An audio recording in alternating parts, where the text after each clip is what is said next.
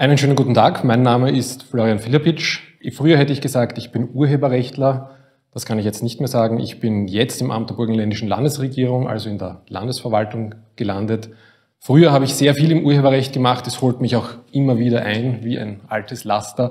Ähm, ich habe auf der Universität gearbeitet im Bereich des Urheberrechts. Ich war in der Aufsichtsbehörde für die Verwertungsgesellschaften und ich habe unter anderem die Creative Commons Lizenzen von denen ich Ihnen heute ein bisschen was erzählen werde, ähm, für Österreich portiert und angepasst. Sie haben also etwas geschaffen. Herzlichen Glückwunsch.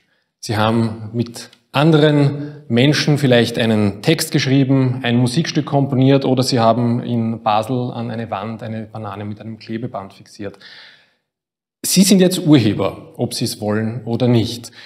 Ähm, dazu müssen Sie nicht mal was tun. Sie müssen Ihr Urheberrecht nicht registrieren lassen. Sie müssen Ihr Werk nirgends einreichen. Das Urheberrecht an Ihrem Werk entsteht bereits mit der Schöpfung, mit dem Akt des Fertigstellens und ein bisschen schon im Akt des Werdens. Und als Urheberin oder Urheber haben Sie Rechte, und zwar eine Vielzahl von Rechten. Ähm, Rechte, die Sie unter Umständen gar nicht brauchen, äh, Rechte, die Sie unter Umständen gar nicht wollen. Sie haben das Recht, Ihr Werk zu vervielfältigen. Sie haben das Recht, Ihr Werk äh, zu verbreiten, ähm, äh, im Internet publik zu machen. Sie haben das Recht, Ihr Werk äh, zu verleihen oder zu vermieten. Und oft wollen Sie diese Rechte nicht nur nicht ausüben, oft wollen Sie auf diese Rechte überhaupt verzichten. Das Urheberrecht ist quasi der Geschenkkorb, äh, den Sie von den Kollegen zum runden Geburtstag bekommen. Da sind viele Sachen drin.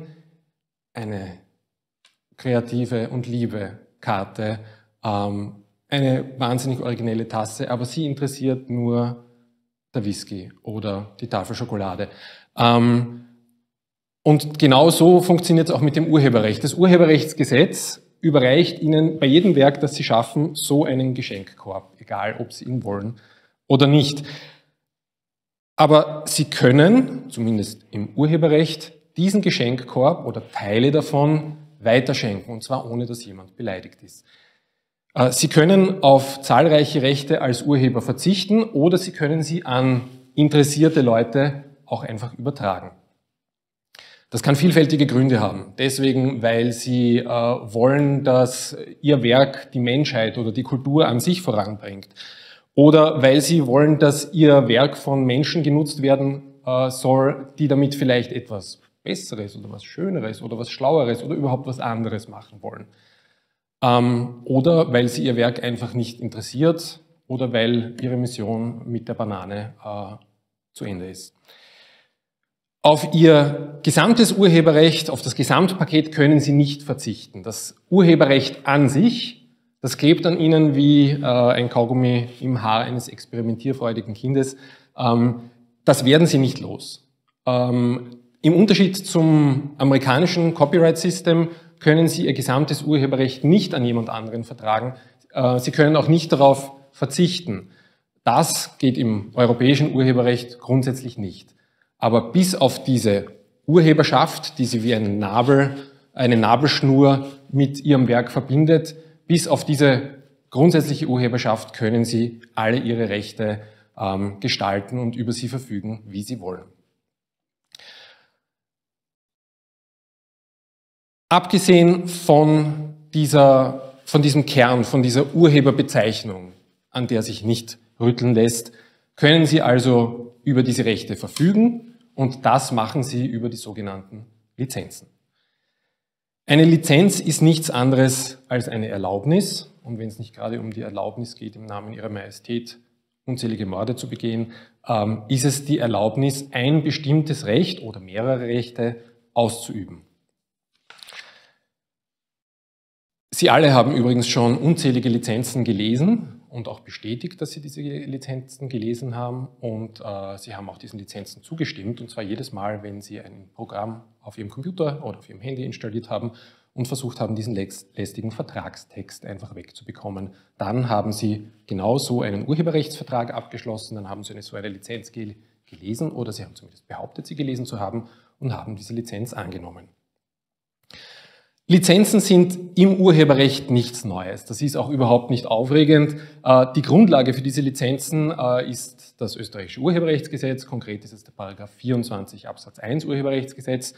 Und der sieht zwei Möglichkeiten von Lizenzen vor. Und zwar die eine heißt, der Urheber kann anderen gestatten, sein Werk auf alle dem Urheber an sich vorbehaltenen Werknutzungsarten zu verwenden. Das sind die sogenannten Werknutzungsbewilligungen. Oder er kann das auch einem anderen ausschließlich, also exklusiv äh, einräumen. Das ist das sogenannte Werknutzungsrecht. Wir beschäftigen uns heute aber ausschließlich mit diesen Werknutzungsbewilligungen. Also man räumt einer Mehrzahl von Personen das Recht ein, ein Werk auf eine bestimmte Art und Weise oder auf mehrere bestimmte Art und Weisen zu äh, gebrauchen. Wenn Sie jetzt wollen, dass andere Menschen Ihr Werk verwenden, Ihr, äh, ihr Lied äh, remixen oder samplen, Ihren Text aufgreifen, kopieren, umgestalten ähm, oder zum Beispiel auch Ihr Computerprogramm ähm, neu gestalten, dann äh, wäre es nett, eine Lizenz zu verwenden. Warum wäre es nett, eine Lizenz zu verwenden? Deswegen, weil Lizenzen auch ein ruhiges Gewissen für Nutzerinnen und Nutzer sind. Nutzerinnen und Nutzer dürfen unter gewissen Voraussetzungen in einem abgesteckten Rahmen fremde Werke verwenden, ohne um Erlaubnis zu fragen. Das ist die sogenannte freie Werknutzung. Es gibt mehrere Arten von freien Werknutzungen. Und diese freien Werknutzungen sind im Urheberrechtsgesetz äh, festgelegt. Im amerikanischen äh, Bereich kennt man das als Fair Use. Im europäischen Urheberrecht ist das um einiges genauer geregelt und es gibt eine Vielzahl von freien Werknutzungen. Die berühmt-berüchtigste freie Werknutzung ist die sogenannte Privatkopie.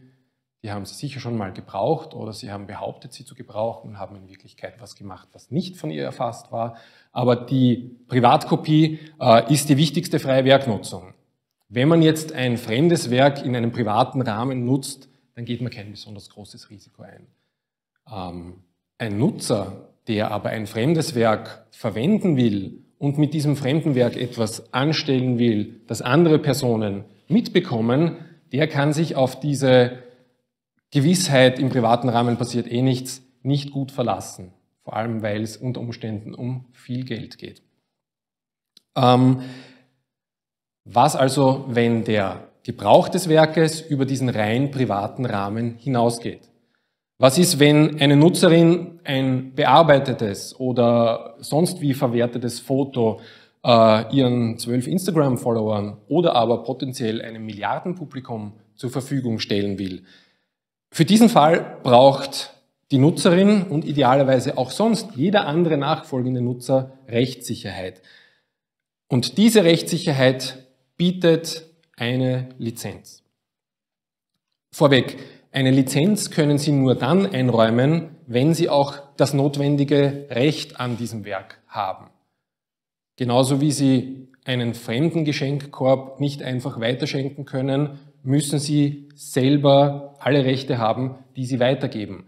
Ganz wichtig, wenn Sie mit mehreren Personen ein Werk gemeinsam geschaffen haben, dann müssen die alle zustimmen, damit äh, Sie eine Lizenz erteilen können. Also Sie können als Einzelner von mehreren gemeinsamen Urhebern nicht einfach äh, das Werk lizenzieren und nach außen geben.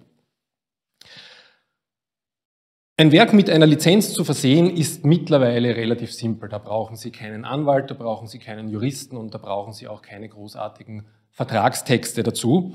Ähm, Wenn es Ihnen darum geht, ein Werk zu Geld zu machen und exklusiv äh, zu lizenzieren, dann würde ich Ihnen raten, halten Sie sich trotzdem an die Juristinnen und Juristen, dann schließen Sie unter Umständen sowas wie einen Verlagsvertrag ab äh, oder einen sonstigen Alleinnutzungsvertrag. Äh, Wenn Sie das nicht brauchen, dann gibt es eine großartige Möglichkeit, mittlerweile schon seit fast Jahrzehnten, und zwar ähm, die Verwendung einer freien Lizenz. Es gibt eine Unzahl von Lizenzen, die Sie als Urheberin oder Urheber verwenden können. Ähm, vor langer Zeit gab es eine Vielzahl an Lizenzen. Das hat sich mittlerweile konsolidiert, ist äh, zusammengeschrumpft auf wenige verfügbare Lizenzen.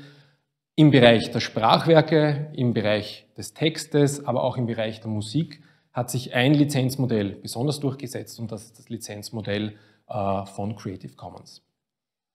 Creative Commons ist an sich eine 2001 in den USA gegründete gemeinnützige Vereinigung, die ein kostenloses Baukastensystem für Lizenzmodelle zur Verfügung stellt. Ähm, Im Rahmen dieses Creative Commons Modells können Urheberinnen und Urheber aus mehreren Lizenzen auswählen, die aus äh, unterschiedlichen Elementen zusammengesetzt sind. Diese Lizenzen, in unserem Raum sind es derzeit sechs Lizenzen, sind unterschiedlich streng. Es gibt sehr freigebige Lizenzen und es gibt Lizenzen, die sich am anderen Ende der Skala befinden, die relativ nahe am, am klassischen Urheberrecht dran sind. Diese erwähnten Lizenzen, äh, aus denen sich diese freie Lizenz zusammensetzt, sind äh, das äh, ist das äh, Element by, das ist das Namensnennungselement. Und wenn Sie sich gemerkt haben, auf dieses Namensnennungselement können Sie nicht verzichten, das muss immer dabei sein. Das heißt, wenn jemand eine Creative Commons lizenzierte Sache verwendet, dann muss immer der ursprüngliche Urheber, der Rechteinhaber genannt werden. Das zweite Element ist das Element NC, Non-Commercial, und besagt, dass derjenige oder diejenige, die dieses Creative Commons lizenzierte Werk verwendet, das Werk nicht kommerziell verwenden darf, also zum Beispiel kein Geld damit verdienen darf. Ähm, das dritte Element ist ND, steht für Non-Derivatives und heißt, dass aus dem vorhandenen lizenzierten Werk keine Bearbeitungen erstellt werden dürfen. Fotos dürfen nicht nachbearbeitet werden, Texte dürfen nicht abgeändert werden, ein Musikstück darf nicht neu gemischt oder vielleicht auch neu eingespielt werden. Das vierte Element ist Ihnen vielleicht aus dem Bereich der Open Source bekannt. Ähm, das vierte Element ist das Share-alike-Element. Und dieses Element besagt, was auch immer der Nutzer mit diesem Creative Commons lizenzierten Werk macht, was auch immer er herstellt, er muss es wieder unter einer Creative Commons Lizenz veröffentlichen. Und zwar unter der gleichen, die das ursprüngliche Werk hatte. Als Urheberin oder als Urheber entscheiden Sie daher, ähm, was Nutzer mit ihrem Werk anstellen dürfen, wie weit diese Nutzungen gehen dürfen und sie versehen ihr Werk zu diesem Zweck entweder im richtigen Leben oder im Internet mit einem entsprechenden Vermerk. Das passiert durch eine grafische Auszeichnung oder ähm, einfach durch das Hinzufügen eines kleinen Textelements. Hinter dieser ganzen Sache, hinter diesen grafischen Elementen, steht ein vollwertiger Lizenzvertrag. Und was noch dazu kommt, man spricht hier immer vom äh, Vertrag, dann vom Menschenlesbaren, also das, was für Nichtjuristen gilt, und dann vom Maschinenlesbaren. Dieser Vertrag oder diese Lizenz ist auch maschinenlesbar. Das heißt, es ist auch mit äh, etwas Suchmaschinen herausfindbar, wie lizenziert dieses Werk ist. Ihre Lizenz stellen Sie sich im Internet zusammen. Wenn Sie eine Creative Commons Lizenz verwenden, dann machen Sie das unter www äh, creativecommons.org und können dort die erforderliche Lizenz für Ihr Werk aus verschiedenen Elementen zusammenstellen. Die größte Sammlung äh, an Werken, die unter einer Creative Commons Lizenz im Übrigen veröffentlicht ist, umfasst in etwa 50 Millionen Artikel in knapp 300 Sprachen. Es sind die gesamten Inhalte der Wikipedia. Die Inhalte auf Wikipedia sind größtenteils unter der Lizenz BY SA, also Namensnennung und Weitergabe unter gleichen Bedingungen lizenziert. Die Creative Commons Lizenzen wurden in zahlreiche Rechtssysteme portiert, also es gibt eine internationale Lizenz, es gibt aber auch Lizenzen angepasst auf die jeweiligen Rechtsordnungen, um ganz sicher zu gehen. Die Creative Commons Lizenzen wurden mehrfach vor Gericht geprüft und haben sich vor Gericht auch mehrfach durchgesetzt. Ähm, es handelt sich also um anerkannte Lizenzen. Wenn Sie also den Wunsch verspüren, Ihr Werk einer interessierten Allgemeinheit zugänglich zu machen, wenn Sie wollen, dass unter Umständen aus Ihrem Werk vielleicht sogar etwas Neues, vielleicht sogar etwas Besseres, Schlaueres und Schöneres passiert, dann gibt es nur eine Möglichkeit, erteilen Sie Lizenzen.